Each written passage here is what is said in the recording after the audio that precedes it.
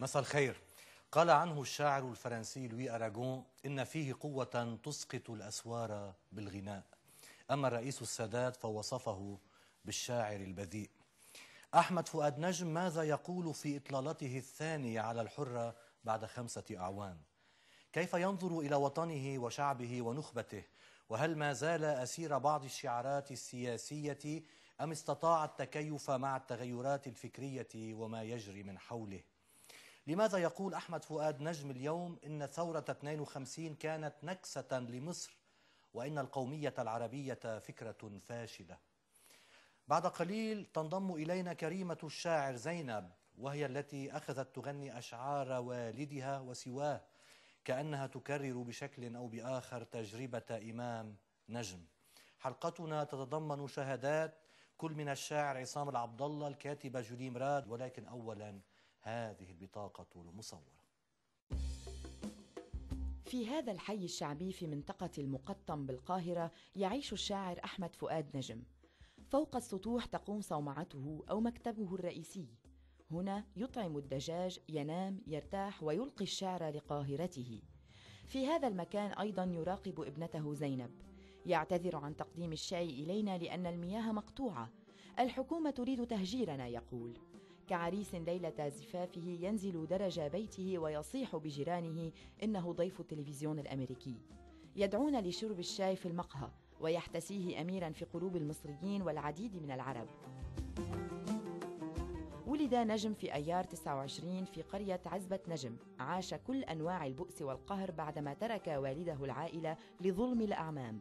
عمل في معسكرات الإنجليز متنقلا بين مهن عديدة في كوي الثياب بائعا عامل إنشاءات وبناء. شارك عام 1946 مع الطلاب والعمال في التظاهرات ضد السلطة. قضى حياته مناضلا ومدافعا عن قضايا الناس بشعره وبيديه.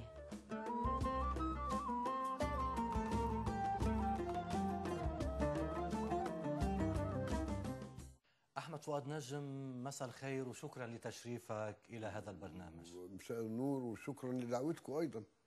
هاي المرة الثانية عم ندعيك. آه وعايز قبل ما أشكرك للدعوة دي أشكرك على آه الأمانة اللي تعاملتوا بيها مع اللقاء الأول. أنا قعدت سمعته مفيش حرف انحذف. هيدي واجباتنا أستاذ.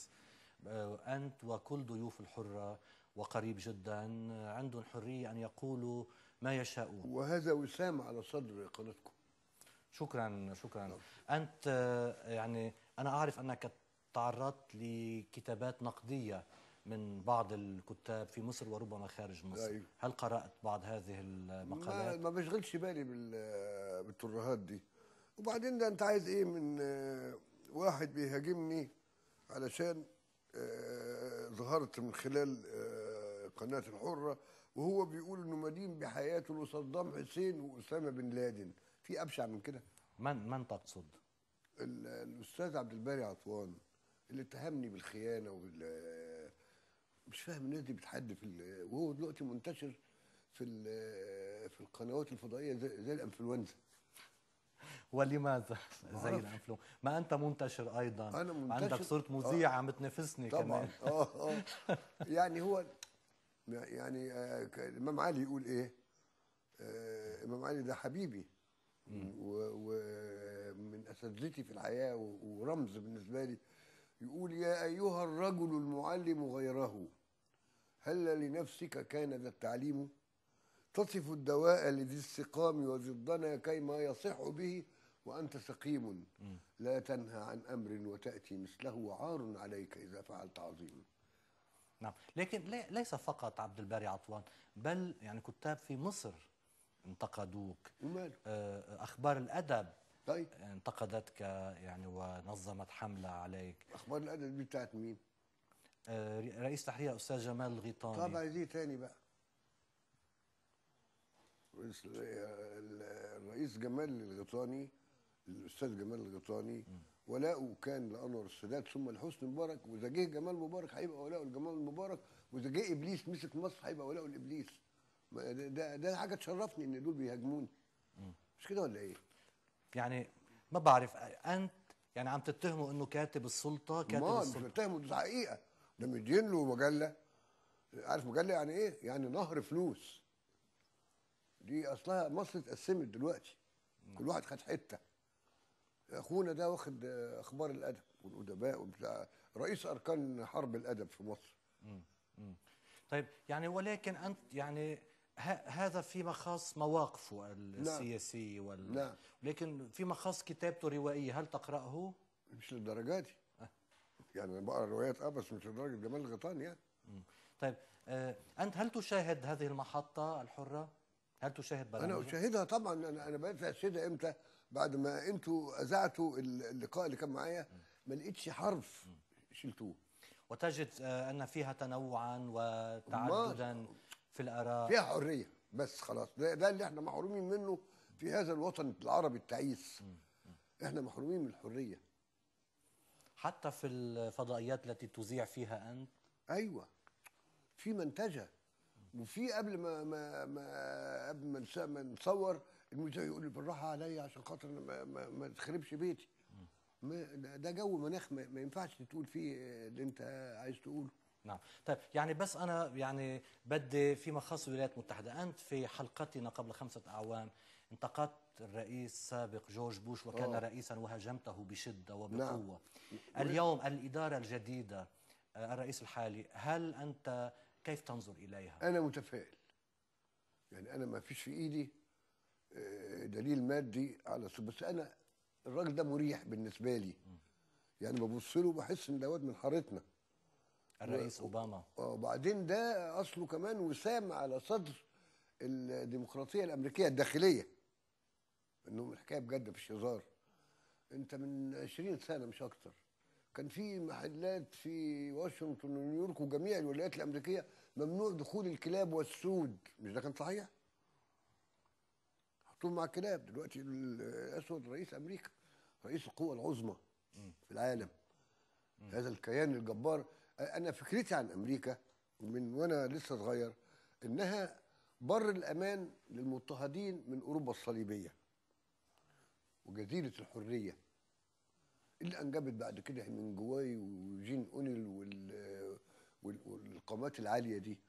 آه، أنا مش معادي لأمريكا ولا الشعب الأمريكي أنا أعادي الإدارة الأمريكية السابقة. آه الم- ال- ال- نعم. المنحازة. نعم. يا أخي انت عندكم في عندهم في أمريكا مع ال- منيح صححتها آه، مش آه. عندنا.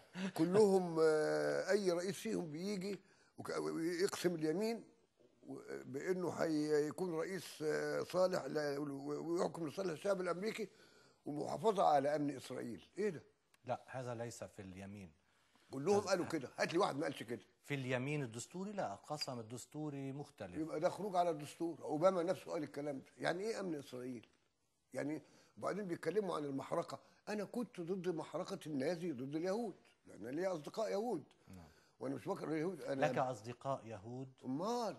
و... و... أين في ب... يعني؟ ب... معجب ب... كان شحات هارون صديق الله يرحمه. و... ومش معجب متيم ب... بال... بالعصفورة الكناريا ليلى الم... ليلى مراد الجميلة. يعني إيه ضد اليهود؟ ما هم أهل كتاب زينا. وزي المسيحيين زي المسلمين. أنا مش مش ضد اليهود. نعم. أنا ضد العنصرية. إذا أنت يعني لم تعد ذلك الماركسي الذي آه، آه، يشتم أمريكا يشتم آه، لا ما طبعا الدنيا بتتغير يا إذا ما إذا ما اتغيرتش هبقى ديناصور. الحياة بتتغير بتتطور. أنا مخي صاحي. وانسان وبتطور وحامل هموم طبقتي الفقراء حامل هموم الفقراء مش في مصر في كل العالم المضطهدين طيب يعني بقى بدي أسألك في في قسم لاحق هل فكرة الطبقية ما زالت يعني كما نظر لها ماركس؟ هل صراع الطبقات هو يعني يوصل إلى ال- الحرية وإلى تغير المجتمع وأسئلة؟ هي الطبقية موجودة. إيه. إنما ربما الحل بتاع كارل ماركس ما نفعش. بس لازم يبقى في حل تاني. ما إحنا طول ما الطبقه أنا عايز أقول لك على على سر. ويا ريتك تبقى تاخد ال- الكاميرات بتاعه الحرة وتروحوا تصوروا الصخرة اللي اللي وقعت في الدويقة وتحتها عدد غير معروف من المصريين تحولوا خلاص اتبططوا. عارف إيه اللي حصل؟ مستثمر سعودي كان عايز ياخد الحتة دي عشان يعمل بيها مشروعات وحاجات زي كده. فيعملوا إزاي؟ راحوا مسلطين عليها خراطيم مية من تحت قعدت سنتين أو ثلاثة لما وقعت على الناس. لم يتحرك أحد من الحكومة ابتداء من الرئيس مبارك وانتهاء بمحافظ القاهرة ولا كأن آه، آه، عشرات الألاف من من ال- ال- ال- الفيران ماتوا. زي حكاية العبارة. فاكرها أنت؟ كل الناس عارفاها. طيب آه شو بدك تقول عن العبارة؟ ما هو هقول لك على حاجة.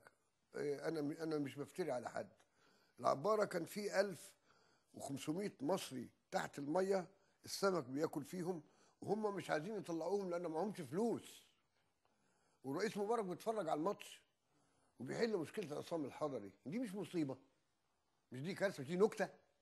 نكتة. هيدي مش نكتة؟ مين قال لك بيتفرج على الماتش؟ ده هم هو اللي قال هو اللي قال أنا هحل كده. هو أنا شفته بعينيا بيتفرج على الماتش هو والمدام بيسقفوا وياخدوا بعض بالحضن. يعني كانوا خلال مباراة رياضية. أيوه أمال إيه؟ وبعديها الرئيس مبارك لم يتدخل لحل مشكلة ال- ال- الأهالي ال- بتوع العبارة ولا الدويقه جزاره الدويقه دي اللي حصلت دي الرئيس مبارك كان متفرغ عشان يحل مشكلة عصام الحضري. طب ده إيه ده؟ إيه لأن اللي إحنا فيه ده؟ طيب هذا كلام نقدي ربما يقبله الرئيس دي حقيقة. والمشاهد. يقبل ما يقبلش هو حر. هو بيعمل كده ليه؟ طيب ما- ما مش هيقبل. طيب أنت يعني بس ولكن في إحدى القصائد مارست القدح والذم نعم. يعني وصلت إلى الشتيمة. أيوه. آه، هل يحق لشاعر أو لناقد أو لمواطن محتقن وعنده موقف أيوه. أن يستعمل السباب أنا والشتيمه استعملت ده ودفعت حقه 18 سنة في المعتقل في أنا- الماضي. أنا مخلص حسابي. في الماضي. مستعد للحاضر. بس مش مش هبطل أشتم اللصوص والقتلة. يعني أقول له أقول له يا حضرة اللص هقول له يا لص يا ابن الكلب. مش هقول له كده ولا أقول له إيه؟ بعد الاستراحة بدي ناقشك في موضوع سجن إبراهيم عيسى. أيوه. وأنت لم يسجنك. حسني مبارك على كل حال. وبدي آه. أشوف ليش. وأسئلة أخرى مشاهدينا الكرام سوف نعود.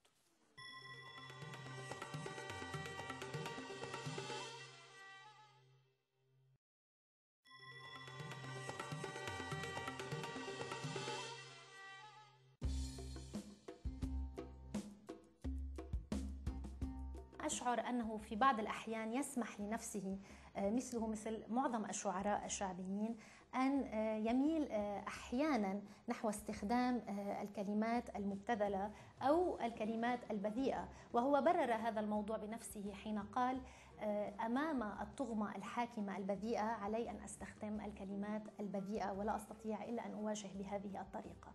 وهنا نتساءل إذا كانت الجماهيرية في الشعر هي مطلوبة.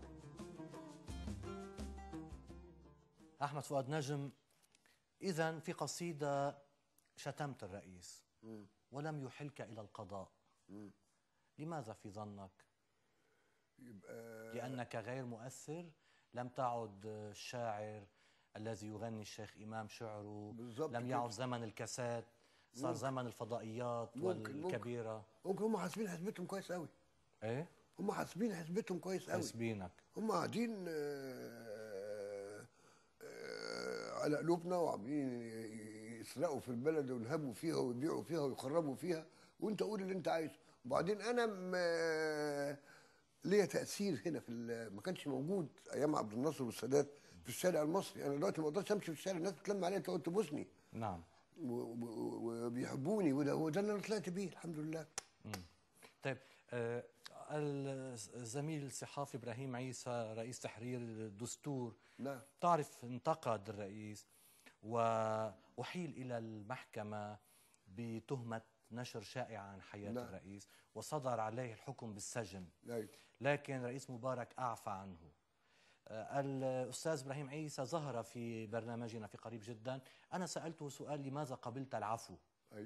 السؤال. آه، يعني تناقشنا هو قال ما جدوى السجن؟ واستغرب قال لي هذا جنون أن تسأل عن صحافي وتسأل صحافي آه، تريده أن يدخل السجن. فأنا يعني تذكرت أشخاص دخلوا السجن. ما بعرف أنت لو أعطيت عفو من الرئيس السادات أو من الرئيس عبد الناصر هل كنت لتقبل العفو؟ ارفضه فورا. ولماذا؟ معه حق إبراهيم عيسى يا أخي. هل وجودك في السجن أفضل من أن تكون في الحرية وأن تكتب هو وتلتقي الناس ده- أكثر. كده نوع ده كده تفكير فيه نوع من الطرف. يعني في يعني إيه لو بقى, في هو بره دلوقتي بره السجن عمل إيه يعني؟ إيه اللي عامله؟ بيكتب ال- اللي بيكتبه كل يوم ينزله. بيطلع جريده يصدر يصدر جريدة. يطلع جريدة. إنما هو ضربة معلم من الرئيس مبارك انه إنه عفى عنه. يعني فساه عارف يعني عارف ال- الإطار لما بيبقى منفوخ بتاع العجلة وتفسيه لا ولكنه ما زال يكتب ما زال. معارضا ما خسر كتير من القراء خسر الكثير من القراء. إيه؟ هو يقول الارقام التوزيع لا تقول ذلك مش في مش صحيح الكلام ده لأنه قبل العفو بالظبط امال إيه؟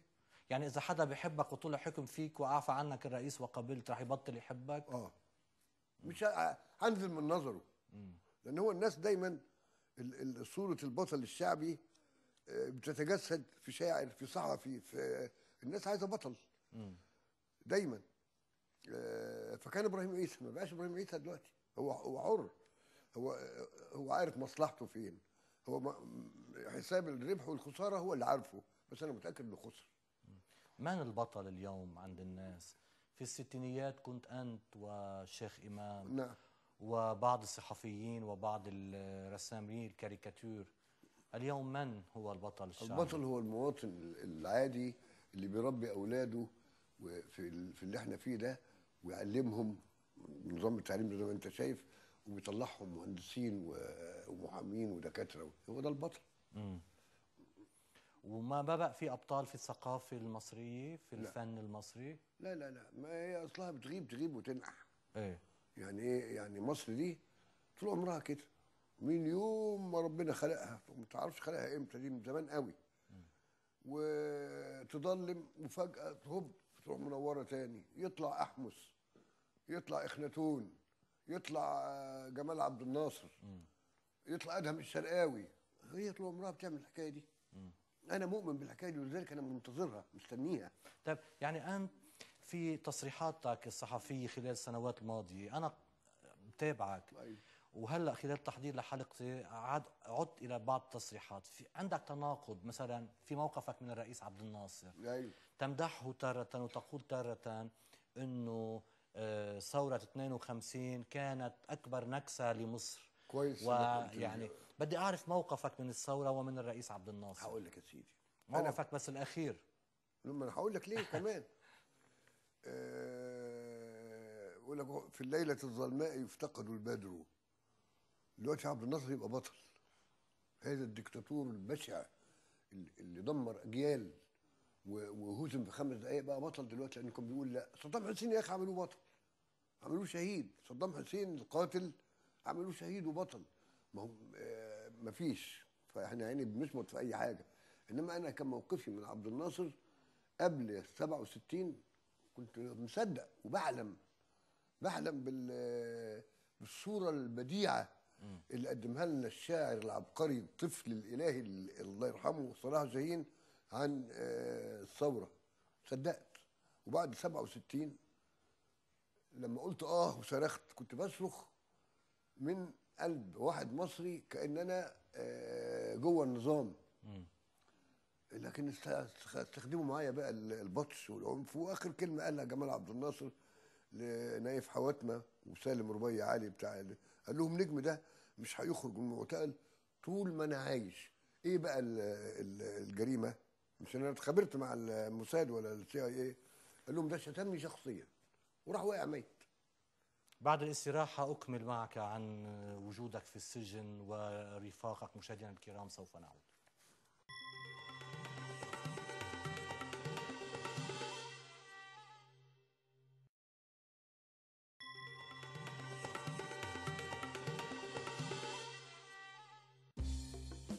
شاعر جماهيري بامتياز وشاعر شعبي بامتياز.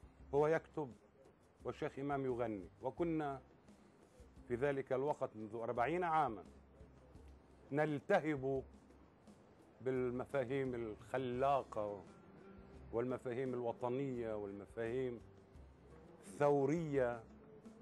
فكان الشيخ إمام وأحمد فؤاد نجم آه، أئمة لهذا الجيل الذي كان يذهب باتجاه المذبحة اللبنانية. أتكلم عن أواخر الستينات أوائل السبعينات حيث كنا نحضر للحرب الأهلية اللبنانية باسم أرقى المفاهيم السياسية والثورية في العالم. أنا أعيب على هذا الشعر الشعر الملتزم أنه دائما يلقي بلائمة آه، ما يحصل في العالم العربي على الآخر. من هنا هو يقسم المجتمع دائما إلى قسمين. المجتمع الجماهيري الذي لا حول له ولا قوة والمجتمع آه، آه، مثله آه، الذين يريدون أن يناضلوا ويتهمون الآخر آه، وهو في هذه الحالة هو السلطة الحاكمة يتهمونه بأنه آه، تابع للخط الانهزامي. من هنا هو مثلا انتقد الرئيس السادات في أشعاره وتكلم ضد الرئيس السادات مع أن الرئيس السادات ليس الشخص الذي تسبب بالنكسة. احتكار آه، الشعراء ال- الملتزمين آه، يعني الجماهير. أحيانا يتكلمون باسم باسم ال- الجماهير. يعني يعتبر الشاعر أحمد فؤاد نجم أنه يتكلم باسم كل الجماهير. يتمس يتكلم باسم الشعب المصري بأسره. عندما كتب آه، قصيدة لحسني مبارك آه، يعني آه، البعض اعتبره أنه شتيمة لحسني مبارك عندما قال آه، كل سنة وأنت طيب وإحنا مش طيبين كل سنة وأنت حاكم وإحنا محكومين ولا أعرف ماذا. هذا نوع من التعبير عن الرأي. نعم ولكن هو أيضا بروباغندا لطرف ما. أحمد فؤاد نجم إذا أنت معارض دائم. لا دخلت السجن كم مرة؟ مرات كثيرة. كم كتير. عام؟ آه، 18 سنة. 18 إن شاء الله انبسطت. قوي كنت تكتب أشعارك في السجن على, طول. آه وباكل ثلاث طاقات ما بعملش الحكاية دي بره وبنام 8 ساعات. كنت في معسكر يعني معسكر طيب. اعداد طيب. طيب لكن يعني أنت أيضا لم تسجن في عهد الرئيس مبارك. أنت مدلل أيضا هلأ. مدلل. إيه. أنا مندهش من ال... من لم تسجن. ما- اتفضلوا يسجنوني. هم حسبوها. حسبوها؟ هم يخسروا لو حبسوني. يخسروا مش بره بقى. زمان كانوا بيخافوا من بره. لا من هنا. من هنا أنا بقيت شخصية شعبية. الشعب المصري بي... أنا حبيت عين الشعب المصري. يعني- كحل عينيه. يعني رح يتظاهر الشعب المصري لو سجنت ما ما أعرفش هتظهر ولا لأ إنما أنا ممكن أنا رأيي إن في أشخاص ممكن يرتكبوا حماقات لو حد حبسني. آه طيب آه كنا عم نقول إنه الرئيس عبد الناصر طالب إبقائك بالسجن لأنك شتمته. شخصيا. قال قال لهم ده شتمني شخصيا. كتبت قصيدة آه، زيارة لضيح عبد الناصر فين بقى؟ وأنا في سوريا. كنت رحت كذا بلد عربي فلقيت الحكاية تجارة. كل رئيس عربي يقول لك أمين القومية العربية. لا هي فين القومية العربية؟ أمين عشان كده اتسرقت أمين لك أمين القومية العربية. فحصل ده بشكل بصوت عالي جدا أيام الرئيس حافظ الأسد. فأنا كتبت ال- القصيدة دي مكيدة في الرئيس حافظ الأسد وملأه. كتبتها في سوريا كنت؟ آه كتبتها وأنا في سوريا. إيه؟ شو بتقول القصيدة؟ بتقول زيارة لضريح عبد الناصر. والقصيدة دي الله يرحمه زرار أباني قال لي يا أخو مش عارف إيه أنت بوظت لنا اللي كتبناه كله. زيارة لضريح عبد الناصر. السكة مفروشة تيجان الفل والنرجس. والقبة صهوة فرس عليها الخضر بيبرجس. والمشربية عرايس بتبكي والبكا مشروع. مين ده اللي نايم وساكت والسكات مسموع؟ سيدنا الحسين ولا صلاح الدين ولا النبي ولا الإمام؟ دستور يا حراس المقام طول ما الكلام بالشكل ده ممنوع. على العموم أنا مش ضليع في علوم الانضباط. أبويا كان مسلم صحيح وكان غبي. وكان يصلي على النبي عند الغضب والانبساط. أبويا كان فلاح تعيس. في ليلة ضلمة خلفوه وفي خرقة سودة لفلفوه وفي عيشة غبرة طلعوه ولصموه وطلصموه ودجنوه وجهزوه وجوزوه على عماه فكان محير في هواه ما بين امي وما بين الجاموسه وكان يخاف يقتل ناموسة وكان خجول خجول خجول لكنه كان دايما يقول أستغفر الله العظيم من باب الاحتياط. أبويا طلعتوه حمار. فكان طبيعي يجيبني جحش. لا أعرف نبي من أجنبي ولا مين ما جاش ولا فين ما راحش. موسى نبي. عيسى نبي محمد نبي وكل وقت وله أذان وكل عصر وله نبي. وإحنا نبينا كده. من ضلعنا نابت. لا من سماهم وقع ولا من مرى شابت. ولا انخسف له القمر ولا النجوم غابت. أبوه صعيدي وفهم قام طلعه ظابط ظبط على قدنا وعلى المزاج ظابط. فجومي من جنسنا ملوش مرة ثابت. فلاح قليل الحياة إذا الكلاب عابت ولا يتطيش للعدة مهما السهام صابت عمل حاجات معجزة وحاجات كتير خابت. وعاش ومات وسطنا على طبعنا ثابت. وإن كان جرح قلبنا كل الجراح طابت. ولا يطلوه العدة مهما الأمور جابت. دي القيمة اللي كانت في عبد الناصر. أنا قلتها بصدق شديد إن هو ما كانش بيوطي. خربها صحيح بس بس بس ما وطاش. يعني عندنا- دي قيمة عندنا في ال... إحنا فلاحين. قيمة إنك أنت ما توطيش لعدوك. إنك ما تنحنيش. إنك ما تركعش على ركبة. إنك ما تاخدش كفنك على- كتفك وتروح تطلب السماح. ده عيب. عيب في مصر. طيب ولكن يعني بعض المصريين يقول إنه السلام الذي أتى به الرئيس السادات أراح مصر. يعني قال في الأخير لا- لن يأكل الشعب المصري العنفوان. في الأخير في يعني في السلام تستطيع أن تبني ان أن تقوم بالتنمية. أيوة. إذا كنت فعلا يعني جاد في بناء شعبك ومجتمعك يعني هل يعني الكرامة منا بأن تأكل وأن تشبع وأن تنهض بمجتمعك هيدي مش كرامة مش؟ كرامة؟ أكبر من أن تذهب إلى دلوقتي الحرب وإحنا ب- بننهض بنبني وننهض مجتمعنا ألم تسترجع مصر أرضها؟ استرجعت مصر أرضها طيب آه. آه آه اللي هي اللي هي سينا نعم أنا أعرف إن سينا معررة ولا لأ مم. حد في ال ال ال لما لما مصر تحاصر الفلسطينيين في قطاع غزة وتشبعهم لإسرائيل عشان تذبح فيهم تبقى دي مصر برضه؟ لا مش مصر أنت في رأيك فعلت ذلك مصر؟ أمال ده لغاية دلوقتي المعبر مقفول طيب أنت تريد من مصر أن تقدم تضحيات مزيد من تضحيات إحنا قدمنا للقضية تضحيات. الفلسطينية آه. وهناك من يريد من لبنان أيضا آه. أن يحارب ويفتح آه. جبهته آه. من أجل فلسطين أيوه آه، الدول العربية الأخرى سوريا دول الخليج إلى آخره تقفل جبهاتها ويعني وما عندها موقف حازم عملي. طيب لماذا أنت يعني كنت تتحدث عن أنه القومية العربية فكرة فاشلة أيوة. في وقت سابق أيوة. خلال التحضير؟ يعني لماذا تريد فقط من مصر ولبنان أنه يحاربوا لا. ولا تطلب ذلك. من الأنظمة الأخرى؟ ثم إذا- كنت تقول أنه القومية فكرة فاشلة. لا أنا مش عايز منهم يحاربوا. أنا عايزهم ما يشتركوش في الم... في, ذبح الفلسطينيين. مش هنحارب. لا مش. مش هنكتفهم. عيب نكتف الفلسطينيين. طيب. بعد بعد ما ذبحت محرقة أطفال غزة دي اللي العالم كله شافها نقفل عليهم المعبر و... و... و... وإحنا كان عندنا هنا أنا هقول لك سر. هو ما بقاش سر دلوقتي. الاسرى ال... ال... الفلسطينيين اللي هربوا نعم. اللي فتحوا لهم المعبر الجرحى خدوهم في المستشفيات بقوا يعذبوهم عشان ينتزعوا منهم اعترافات. نعم. عن نعم. أماكن السلاح عند حماس أنا يعني لا أريد أن أتبنى وجهة نظر الحكومة نعم. المصرية لكن الحكومة المصرية تقول أنه المعابر نفسها وأنت تعرف أنه هذه المعابر موجودة بمعرفة الحكومة المصرية نعم. آه، وهي تغض النظر تقول أنه عبر هذه المعابر تم إدخال متفجرات للأعمال الإرهابية التي وقعت في مصر على كل حال هذا نقاش هذا نقاش آخر أيوة. أحمد فؤاد نجم بالنسبة للبنان نعم آه، آه، أنت زرت أمين عام حزب الله. إيه؟ طيب اليوم كيف تنظر إلى حزب الله؟ وهو م- مش اليوم. مش موجود على الساحة. انظر له إزاي؟ مش موجود دلوقتي.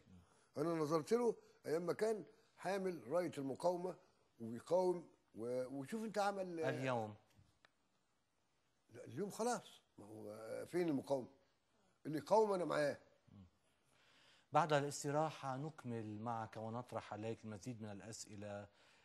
يعني بدي انتقل شوي إلى الشخصي وإلى الحب. لكن إذا بدي أنهش آه، أحمد فؤاد نجم بالسياسة القومية العربية ليش قلت لي فكرة فاشلة؟ كل سنة وأنت طيب هي فين القوميه العربية؟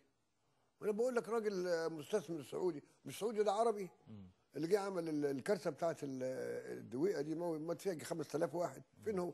ولا الحكومة اتحركت ولا ضابط هناك راح قال فين اللي ماتوا. لكن هل يكفي هذا لتنعى القومية العربية؟ ما في ده بس لغة مشتركة ما في ثقافة مش مشتركة. عايز اللغة دي يا أخي. مش هقطع لساني مش هتكلم. لغة إيه بس يا فيك تقطع لسانك؟ آه والله لا ما ينفعش. امال اشتم مين اشتم بإيه. آه. إيه طيب يعني أنت ما لا ترى رابطا آه، بين الخليج آه، مصر آه، ما يسمى ببلاد الشام؟ لا ترى ما يجمعها يعني؟ أنت تريد تقول صرت إنه المصالح يمكن أن تجمع أو تفرق؟ طيب ما المصالح؟ طب قول لي بقى. أنا أنا أنا يعني إيه المصالح؟ المصلحة اللي بيني وبين السري الكويتي أنا رحت الكويت سرقوني. سرقوك؟ امال ليه رحت الكويت وعملت آه، امسيت آه، بتاع ده سهره في قناة الراية وعملت أمسيتين شهرتين وبعدين أدور عليهم قالوا لي أمك في العيش ولا طار. الكويت اللي بتساعد أمريكا وأوروبا في في الكوارث الطبيعية يسرقوني أنا. نعم بس عربيه إيه بقى. بس شو خاص هيدي بالقومية؟ هيدي شغلة بينك وبين المؤسسة التي دعتك مؤسسة إلى إيه؟ ذلك. المؤسسة دي بتاعت مين؟ طيب آه، بعد الاستراحة آه، نطرح بعض الأسئلة الشخصية. أنا ممنوع من دخول السعودية حتى لاداء الفريق فين بقى القومية العربية؟ لماذا دائما نلقي اللوم على الخارج؟ نحن عندنا بنية قبلية طائفية أيوة عشائرية أيوة، أيوة. هي مسؤولة أيوة. بالدرجة الأولى عن, عن مشاكلنا. لبنان اللي هو اللي أنا بسميه وردة ال- ال- العروة في سكتها بالنسبة للعرب كله طائفيه لبنان. نعم. بعد الاستراحة نكمل مع أحمد فؤاد نجم مشاهدينا الكرام سوف نعود.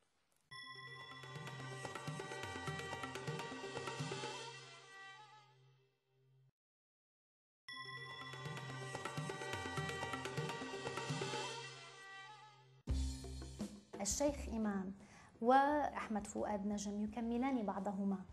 آه، واللحن يصل إلى الجمهور أسرع من الكلمة أحيانا. اللحن والكلمة مزيج يسمح بحصول إبداع ما. إذا مستوى الإبداع ممكن قد تجلى في اللحن الذي أضيف إلى الكلمة الشعبية البسيطة. هذا الثنائي انكسر. ربما قبل آه، غياب الشيخ إمام انكسر هذا الثنائي وربما انكسرت انكسر الزمن الذي كان يحمل هذه الظاهرة. الزمن تغير ما صار وما جرى في المنطقة آه، آه، أدى إلى تراجع هذه الهجمة الغنائية الشعرية الثورية التي كان يمثلها أحمد فؤاد نجم والشيخ إمام. ثنائي لا يتكرر. هي لحظة من لحظات التوافق البشري بين الشخصين وتوافقهما معا مع الجو السياسي مع العصر مع الزمن الذي كانا يعيشان فيه إذا من القاهرة مع أحمد فؤاد نجم ك- يعني كت- كتب عادل حمودة مقال بعنوان الجياد ل- لا تباع لا في تباع في السوبر ماركت. ماركت آه. ملمحا إلى أن رجل الأعمال الطامح نجيب ساويرس اشتراك وصرت تلبس جلابية signé. آه. شو القصة؟ أهو لو قدامك. signé؟ ما اعرف signé يعني. إيه يعني يعني مصنوعة في الغرب ومن ماركة من ماركة مشهورة. هو الغرب بيصنع جلاليب كمان؟ ممكن. ده الصين اللي بتعمل كل حاجة. الصين فاضل تعمل بني آدم. بيعملوا للسعوديين الجلاليب والمنبهات اللي والبوصلة بتاعت الصلاه والمنبه اللي فيه الأذان دول شياطين بتوع الصين دول. هم دول بادئين معانا. في الخمسينيات. وأنا سألت واحد صديقي مرة قلت له الله مش إحنا بادئين مع الناس دول؟ قال لي آه قلت له أمال إيه بقى؟ قال لي إيه؟ قلت له هم فين؟ وإحنا فين؟ قال لي هم ظاهر عندهم نبي. أنت ظاهر عندك إيه؟ قلت له مجموعة العصابات قال لي خلاص دي النتيجة. هم ظاهر عندهم موت تونج ده نبي. هو اللي عمل الكيان الضخم ده. نعم. طيب ليش قال عنك هيك عادل حمودة؟ كان عايز قرشين من نجيب سويس. عايز يبتزه يعني. وأنا ما كانش عندي مانع. إن عادل حمودة ياخد فلوس من نجيب ساويرس ياخد فلوس من أي راجل عمال ياخد مصارينه حتى أنا مالي. أنت أخذت إنما ياخدني انت, أخذت مال من نجيب ساويرس؟ يعمل بيه إيه؟ إيه؟ أعمل بيه إيه؟ بتصرفه على عائلتك. عيلتي الحمد لله أنا لغاية دلوقتي بشتغل. بكتب وعندي قدرة على إن أنا اكل عيلتي لغاية دلوقتي. عرض عليك نجيب ساويرس؟ لا الحقيقة الراجل آه، لم يعني يفتح هذا الموضوع تماما واحترم استقلاليتي واحترم رأيي. وأنا نجيب ده صديقي وأنا بتمنى إن مصر يبقى فيها ألف نجيب ساويرس أن تقول أنك توقعت اغتيال الرئيس أنور السادات أيوه. عندما كنت في السجن. نعم. كيف توقعت يعني في قصيدة؟ يعني كيف؟ لا هقول لك أنا كا- يا سيدي آه، كنت كاتب قصيدة اسمها البتاع. إيه؟ ودي توقعت فيها بالظبط اللي حصل. يعني مش بالتفصيل إنما ال- يلي فتحت البتاع كان عامل أياميها حاجة اسمها الانفتاح. دي آه، عملية نهب حصلت في مصر وكان شعارها اللي مش هيكسب على أيامي عمره ما هيكسب. طب ده شعار يقولوا شيخ منصر ولا رئيس جمهورية؟ ده شيخ منصر. وانطلقوا علينا كلونا كلوا لحمنا. فأنا قلت يا اللي فتحت البتاع فتحك على مقفول لأن أصل البتاع واصل على موصول. فأي شيء في البتاع الناس تشوف على طول والناس تموت في البتاع فيبقى مين مسؤول؟ إيه. وإزاي هتفتح بتاع؟ في وسط ناس بتقول بإن هذا البتاع جاب الخراب بالطول لأن حتة بتاع جاهل غبي مخبول أمر بفتح البتاع لأنه كان مسطول. وبعد فتح البتاع جابوا الهوى المنقول. شوف الشوية اللي جايين دول اللي إحنا فيهم بقى. وبعد فتح البتاع جابوا الهوى المنقول.